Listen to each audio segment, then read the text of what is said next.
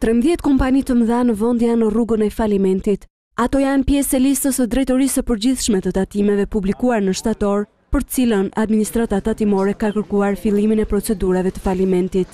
Drejtoria e Tatimeve kërkon çdo vit në gjykatë fillimin e procedurës së falimentit për tatimpagues me detyrime për të paktën dy vjet, kur kanë kaluar dy vjet nga statusi pasiv në QKR, kur ka detyrime tatimore të padeklaruara si të pambledhura, apo kur biznesi rezulton me humbje për të paktën tre vjet.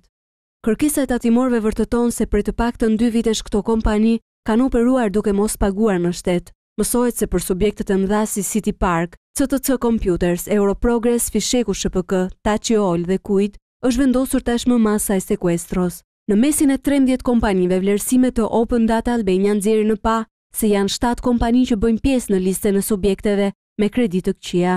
Në total janë shtatë pikë tetëmbëdhjetë miliardë lekë kredi, leasing apo overdraft, cilësuar tashmë kredi me probleme që u përkasin shtatë subjekteve tatimpagues të mëdhenj, nën sekuestro dhe falimentim. Vlera e kredive me probleme në total arrin në njëqind e njëzet e pesë miliardë lekë në vend, apo një miliard dollarë. Të dhënat tregojnë se tridhjetë e pesë kompani të mëdha që janë pjesë e listës së subjekteve me kredi me probleme, zotërojnë pesëdhjetë e gjashtë për qind të totalit të këtyre kredive, ose shtatëdhjetë miliardë lekë. Ekonomistët dhe shoqatat e biznesit kanë kërkuar që këto emra të bëhen publikë, për të rritur transparencën dhe për mënyrën si do të zgjidhet ky problem. Kreditë e këqija konsiderohen prej tyre si bomba që mund të shpërthejë dhe të dëmtojë ekonominë shqiptare.